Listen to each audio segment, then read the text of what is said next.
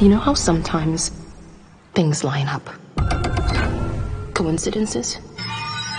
Since we've been up here, they've been happening more and more. It's like there's this black cloud hanging over us.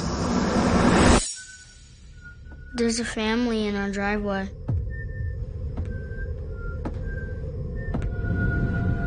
Who is that? Uh-oh.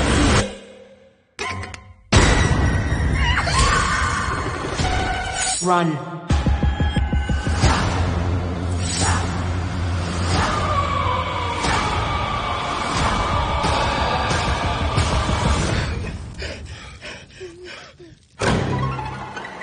you people.